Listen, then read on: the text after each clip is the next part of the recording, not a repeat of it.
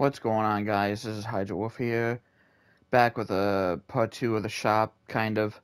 So I forgot to uh, go over the new PlayStation Plus pack. So we have the Sub-Zero Cryptic outfit, so it's a reskin, and then we have his Lego version of Sub-Zero Cryptic.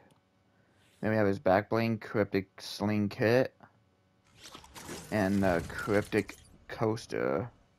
So yeah, this is the new PlayStation Plus pack with uh, his three two items and his skin and his Lego version.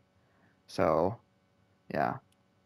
If you're on PlayStation, get it now, and yeah, see ya.